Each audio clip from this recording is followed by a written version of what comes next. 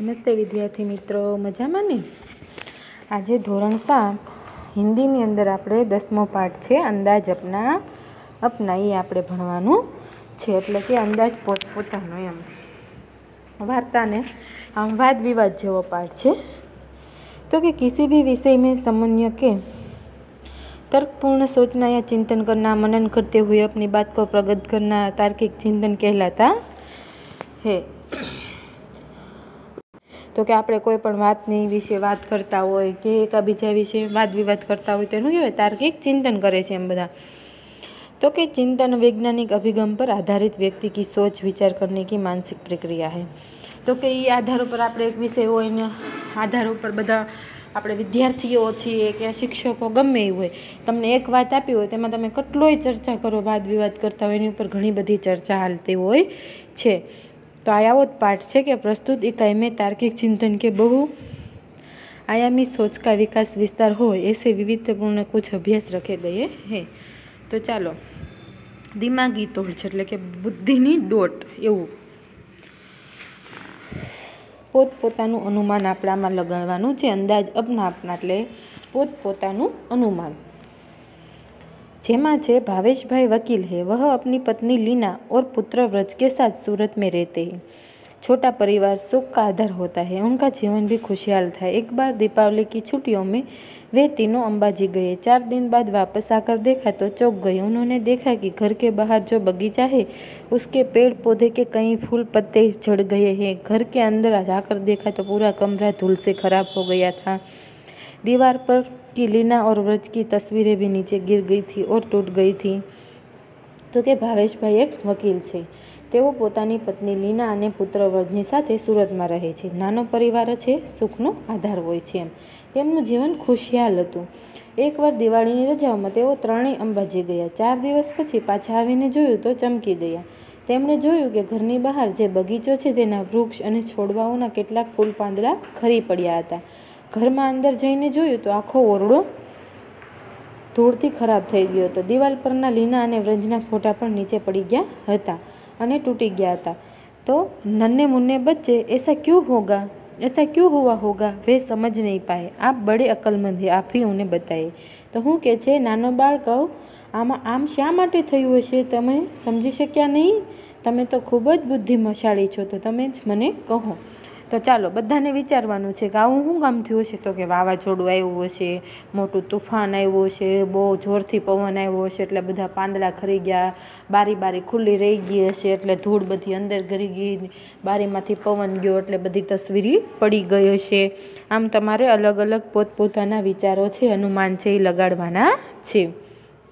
હવે બીજું છે, પરેશભાઈ કિસાન હે, ઉનકી પત્ની હરિલબહેન નર્સ હે. એક દિન સુબહ સુબહ હરિલબહેન पानी ने नल के नीचे जल्दबाजी में एक मटका रखा बाद में नल चालू किया और रसोई घर में चाय बनाने चली गई चाय बनाने के बाद जब वापस आकर देखा तो मटका खाली था उसमें पानी ही नहीं था हिरल बहन अपने आप पर हंसने लगी मेरे समझदार दोस्त अब आप ही बताइए कि ऐसा क्यों हुआ होगा તો કે પરેશભાઈ ખેડૂત છે એમની પત્ની હિરલબેન છે એ નર્સ છે એક દિવસ વહેલી સવારે હિરલબેન પાણીના નળની નીચે નળ નીચે ઉતાવળમાં એક માટલું મૂક્યું, પછી નળ ચાલુ કર્યો અને રસોડામાં ચા બનાવવા ચા લાગ્યા ચા બનાવીને પછી જ્યારે પાછા આવીને જોયું તો માટલું ખાલી હતું, તેમાં પાણી નહોતું, તો હિરલબેન પોતાની જાત પર હસવા લાગ્યા. તો જુઓ આવું શું કામ થયું હશે? તમે કહો. તો બધા પોતપોતાના વિચારો લગાડો કે આવું શું કામ થયું હશે? તો કે એ નળ ચાલુ કરવાનું જ ભૂલી ગયા હશે, અથવા તો નળ ચાલુ કર્યો પણ નળમાં પાણી જ નહીં આવતું હોય. અથવા આજે નળ જ નહીં આવવાના હોય અથવા માટલું ફૂટલું મૂકી દીધું હશે જેથી ખાલી થઈ ગયું હશે તો આવી રીતે તમે પોતપોતાના અનુમાન છે લગાવી શકો છો હવે છે सेजल दो गमले लाई उनमें तुलसी के पौधे थे दोनों पौधे लंबाई चौड़ाई में ऊंचाई में एक समान ही थे एक महीने के बाद दूसरे गमले का पौधा बड़ा हो गया जबकि पहले गमले का पौधा अब भी इतना ही था जितना एक महीना पहला तो मेरे भोले भोले ભેજાબાદ દોસ્ત એસા કેસે હોવા હોગા? આફી બને તો કે સેજલ છે એ બે કુંડા લાગ તેમાં તુલસીના છોડ હતા. બંને છોડની લંબાઈ પહોળાઈ અને ઊંચાઈ એક સરખી હતી. એક મહિના પછી બીજા કુંડાનો છોડ વધી ગયો. જ્યારે પહેલા કુંડાનો છોડ હજુ પણ તેટલો જ હતો. જેટલો એક મહિના પહેલો હતો. તો મારા ભોળા ભાળો ભોજાબાજ મિત્રો, આમ કેવી રીતે થયું હશે? તમે કહો. તો કેવી રીતે થયું હશે? તો તમારે પોતપોતાનું અનુમાન લગાવવાનું છે. દાખલા તરીકે એક એક તુલસીનો છોડ છે એ અસલી હશે, એક નકલી હશે અથવા એકને જેટલું પાણી મળ્યું એટલા બીજાને મળ્યું હશે ને એકને ખાતર મળ્યું તો બીજાને મળ્યું હશે નહીં એવી રીતને તમે અંદાજ છે પોતપોતાનો લગાવી શકો છો. હવે છે તર્કી લગામ કલ્પના કે ઘોડે, એટલે કે તર્કની લગામ અને કલ્પનાનો ઘોડો. આપ સાયકલ પર સ્કૂલ જા રહે હે. रास्ते में देखा तो एक आदमी हाथ हिलाकर आपको रुकने का इशारा कर रहा था। आप रुके, उसने कहा कि बगल वाले गाँव में मेरा जाना ज़रूर है। आपने उस आदमी को साइकिल पर बिठाया और पास वाले गाँव तक पहुँचाया। वहाँ जाकर आपको पता चला कि वहाँ एक जादूगर का कार्यक्रम होने वाला है और वह आदमी उसका सहायक है। उस आदमी ने आपको जादू के खेल देखने का अनुरोध किया, पर पाठशाला पहुँचने में देरी हो जाएगी। यह सोचकर आपने मना कर दिया। उस आदमी ने सारी बात जादूगर को बताई। जादूगर ने खुश होकर आपको एक करामती चश्मे दिए और कहा कि इस पहनने से तुम सबको देख पाओगे और कुछ भी कर पाओगे। तुम्हें कोई देख नहीं पाएगा। इसका असर एक हफ़्ते तक रहेगा। आप चश्मा लेकर वापस अपने गांव की पाठशाला में आए वहां से घर गए दूसरे रोज नहा धोकर आईने के सामने आपने चश्मे पहने आईने में देखा तो सचमुच आप गायब हो चुके थे अब आप हमें बताइए कि आप कहाँ कहाँ जाएंगे और क्यों क्या क्या करेंगे તો કે તમે સાયકલ પર સ્કૂલે જઈ રહ્યા છો રસ્તામાં જોયું તો એક માણસ હાથ હલાવીને તમને થોભી જવા ઈશારો કરી રહ્યા છે તમે ઊભા રહ્યા તેણે કહ્યું કે બાજુના ગામમાં મારે જવું ખૂબ જરૂરી છે તે માણસ તેને સાયકલ પર બેસાડી પાસેના ગામમાં પહોંચાડે છે. ત્યાં જઈને તમને ખબર પડે કે ત્યાં એક જાદુગરનો કાર્યક્રમ થવાનો છે. એનો આ માણસ મદદગાર છે. તે માણસે તેમને જાદુ જોવાનો વિનંતી કરી, પરંતુ સ્કૂલે પહોંચવાનું મોડું થશે એમ વિચારીને તમે ત્યાંથી પાછા આવી આવ્યા. ના પાડી દીધી. તે માણસે બધી વાત જાદુગરને કરી. જાદુગરે ખુશ થઈને તેમને એક ચમત્કારી ચશ્મા આપ્યા અને કહ્યું આ ચશ્મા પહેર્યા પછી તું સૌને જોઈ શકીશ અને કંઈ પણ કરી શકીશ. તમે કોઈને જોઈ શકશે તમને નહીં. આની અસર એક અઠવાડિયા સુધી કે રહેશે. તમે ચશ્મા લઈને પાછા પોતાના ગામની સ્કૂલમાં આવ્યા. ત્યાંથી ઘરે ગયા. બીજે દિવસે નાઈન ધોઈ દર્પણની એટલે કે કાચની સામે તમે ચશ્મા પહેર્યા અને કાચમાં જોયું તો ખરેખર તમે ગાયબ થઈ ગયા. હવે તમે કહો કે આ ચશ્મા તમને મળી જાય. તો તમે હું શું કરશો? ક્યાં જશો? કેવી રીતને ફરશો? એ બધું તમારે અનુમાન લગાડવાનું છે.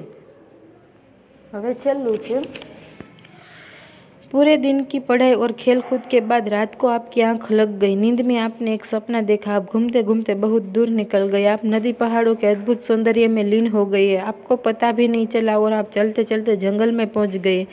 अचानक आपके सामने एक शेर आ गया। शेर को देखकर आप होश खो आया। आप घबरा गए।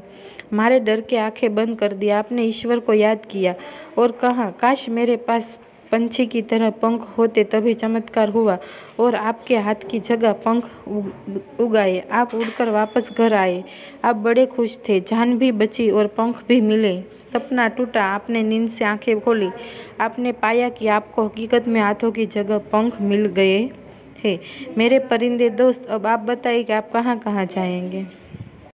આખા દિવસના ભણતર અને રમતગમત પછી રાત્રે તમને ઊંઘ આવી ગઈ. ઊંઘમાં તમે એક સપનું જોયું. તમે ફરતા ફરતા ખૂબ દૂર નીકળી ગયા. તમે નદી, પર્વતોનું સૌંદર્યમાં લીન થઈ ગયા. ખરેખર ખબર જ પડી નહીં અને તમે ચાલતા ચાલતા જંગલમાં પહોંચી ગયા. એકાએક તમારી સામે સિંહ આવી પહોંચ્યો. સિંહને જોઈને તમારું તમને ભાન થયું. તમે ગભરાઈ ગયા. ભયના મારે આંખો મીચી દીધી. તમે ઈશ્વરને સ્મરણ કર્યું અને અરે મારી પાસે પક્ષીની પાંખો હોત તો ત્યારે ચમત્કાર થયો ને તમારા હાથની જગ્યાએ પાંખ ઉગી નીકળી. તમે ઉડીને ઘરે પાછા આવી ગયા. તમે ખૂબ ખુશ થઈ ગયા. જીવ પણ બચી ગયો અને પાંખો પણ મળી ગઈ. સ્વપ્ન ખંડિત થઈ ગયું એટલે કે સ્વપ્ન પૂરું થઈ ગયું. તમે ઊંઘમાંથી આંખો ખોલી તો તમે જોયું કે તમને હકીકતમાં હાથની જગ્યાએ પાંખો મળી ગઈ. તો હવે તમે કહો કે તમે ક્યાં ક્યાં જશો અને શું શું કરશો જો તમને આંખો મળી ગઈ હોય તો? तो कि इस बार आपकी मज़ेदार और अनोखी कसौटी होने वाली है एक बड़ा जहाज आपको निर्जन द्वीप पर ले जाने वाला है वहाँ केवल मिट्टी कंकड़ पत्थर पहाड़ और समृद्धि पानी है मेरे बुद्धिमान दोस्त वहाँ एक हफ्ते तक सुख चैन से रहने के लिए आप अपने साथ क्या क्या ले जाएंगे सूची बनाइए શું કે છે હવે તમારી મજાની કસોટી થવાની એક મોટું વહાણ તમને નિર્જન ટાપુ પર લઈ જવાનું ત્યાં ફક્ત માટી કાંકરા પથરા પર્વત અને દરિયાનું પાણી જ છે તો ત્યાં એક અઠવાડિયા સુધી સુખ ચેનથી રહેવા માટે તમે તમારી સાથે શું શું લઈ જશો? તો કે શું લઈ જજો? તો કે જો કેટલીક શું લઈ જાઓ તો તમને ખબર હશે? તમે પાણી લઈ જશો, નાસ્તો લઈ જશો, જમવાનું લઈ જશો, જે જમવાનું અઠવાડિયા સુધી ચાલે એવો કોરો નાસ્તો લઈ જશો, કપડાં લઈ જશો, ઘણી બધી વસ્તુ છે એ તમે ત્યાંથી લઈ જશો. હવે કુછ વિજ્ઞાપન મેં પ્રકાશિત ખાસ વિધાનો કો ગોરસે પડીએ, ઓર ઉસ પર વાદ વિવાદ કીજીએ अब नए पेक में अट्ले એટલે नवा નવા में एम શોખ बड़ी चीज़ है तो કે शौक मोटी वस्तु है पहले इस्तेमाल કરે फिर विश्वास કરે. पहला उपयोग કરે पीछे विश्वास करो यहाँ पेट्रोल ही नहीं विश्वास भी मिलता है हम सिर्फ़ गहने ही नहीं बेचते रिश्ते भी बनाते पकाते हैं रसोई परसते हैं प्यार अंदाज अपना अपना मेरे होनहार दोस्त अब आप भी भाषा की पुष्टि पर कुछ खेल खेलने वाले हैं उदाहरण देखते जाइए और खेलते જાય તો તમારે જો ભારત, તમાશાલી, ભારત, પછી તમાશા લી શાલીન નસીબ, બહાદુર એવી રીતને તમારે આગળ આગળ વાક્ય બનાવતા જવાના છે. તો તમને ખબર પડી હતી આમાં શું શું થયું? આમાં આપણે પોતપોતાના અનુભવ લગાડવાના છે કે તમે હું હું ફરશો, હું હું કરશો, તમારે હોમવર્કમાં આવડો પ્રશ્ન એક છે, આ એ લખવાનું છે પ્રશ્ન. પછી આ પ્રશ્ન લખવાનો છે. શબ્દ બનાવવાના છે તો તમારે પુનરાવર્તન બે આવશે પણ પૂરું કરવાનું રહેશે. હવે ફરી મળીશું આવતા લેક્ચરમાં તમને સ્વાધ્યાય પોથીના ફોટા પાડીને મોકલી દીધા છે. તમારે સ્વાધ્યાય પોથી પૂરી નાખવાની રહેશે. ફરી મળીશું આવતા લેક્ચરમાં. આપણો કોર્સ અહીં પૂરો થાય છે. હવે આપણે રિવિઝન કરશું. તમારે બધાએ સ્વાધ્યાય પોથી જે પૂરી નાખવાની રહેશે, પીડીએફ મેં મોકલી દીધી છે. તો ફરી મળીશું આવતા લેક્ચરમાં. ત્યાં સુધી આવજો.